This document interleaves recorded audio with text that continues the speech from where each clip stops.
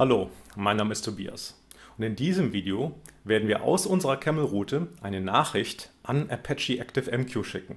In unseren bisherigen Videos hatten wir diese Enterprise Integration Route aufgebaut und die ist auf einem File Producer geendet. Das heißt, am Ende der Route wurde die Nachricht in Dateien herausgeschrieben in ein Verzeichnis.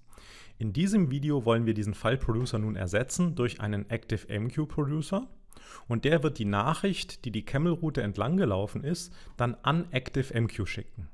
In ActiveMQ wird die Nachricht in einer Queue gespeichert werden.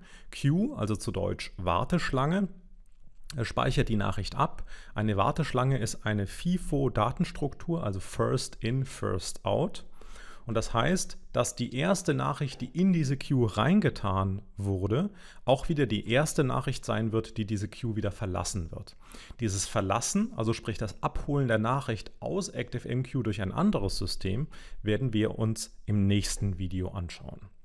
ActiveMQ werden wir hier als eigenständige Software betreiben, aber es kann natürlich wie Camel auch in zahlreiche Systeme und Plattformen integriert werden.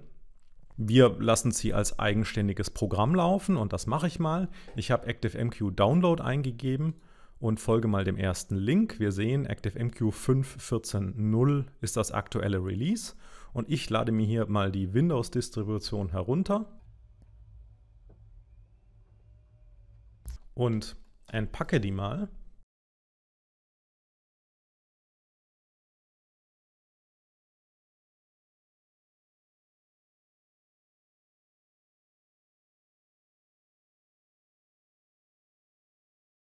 Und ich gehe jetzt in das Verzeichnis von ActiveMQ und dann in das Bin-Verzeichnis und dann relativ wichtig, unter Windows muss man noch ein Verzeichnis weiter runtergehen. Mein System ist ein 64-Bit-System, deswegen gehe ich nach Win64 und starte dort die ActiveMQ-BAT. Und wir sehen jetzt ActiveMQ starten und da kommen jetzt alle möglichen Ausgaben. Unter anderem ist hier die KHDB erwähnt. DB steht für Database, also Datenbank. Und das ist eben die Datenbank, die ActiveMQ intern verwendet, um die Nachrichten, die er speichern soll, auf der Festplatte abzuspeichern. So, jetzt schauen wir mal, wie die Integration in unsere Route funktioniert. Da können wir hier statt des File-Endpunkts jetzt einen ActiveMQ-Endpoint angeben und können da den Namen der Queue dahinter schreiben, also Bestellung. So, die Unterstützung für diesen ActiveMQ-Endpunkt kommt mal wieder über eine Library hinzu. Und das kann man sich natürlich wie immer in der Dokumentation des Endpunkts anschauen. Wenn ich ActiveMQ Camel in Google eingebe, dann ist der erste Hit gleich die Beschreibung der ActiveMQ-Komponente, also der Integration von ActiveMQ in Apache Camel. Und das sollte man sich natürlich wie immer durchlesen, wenn man diesen Endpunkt einsetzt. Unter anderem steht hier der Beschreibungsblock der Maven-Abhängigkeit drin, die ich noch in die POM-Datei hinzufügen muss. Und die kann ich hier mal einfügen. Dabei ist es so, dass dieses 560 für die Version von ActiveMQ steht. Wir sehen, die ActiveMQ Camel Komponente wird diesmal nicht von Camel verwaltet, sondern von ActiveMQ selbst. Und diese Integrationskomponente wird immer zeitgleich mit ActiveMQ selbst versioniert und released. Und das heißt, wir können hier einfach die Version von ActiveMQ selbst angeben. Und das war eben die 5.14.0 und deswegen gebe ich hier auch die 5.14.0 an, speichere das ab und wie immer markiere ich das Projekt, drücke Alt F5 und Enter.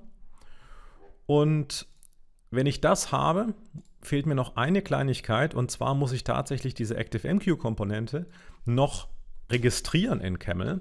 Das mache ich mit getContext und addComponent und sage dann unter dem Namen ActiveMQ soll die ActiveMQ-Komponente veröffentlicht werden.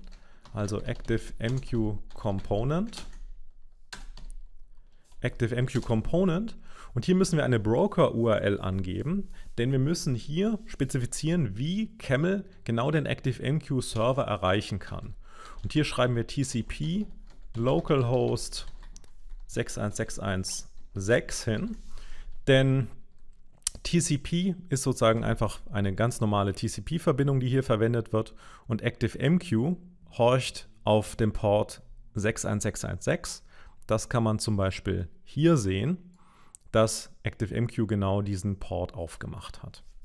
Ja, und das kann man so machen. Ich mache jetzt mal einen kleinen Vorgriff und zwar ist mein Rechner nicht nur natürlich unter Localhost erreichbar, sondern auch unter tobias.predicate.de.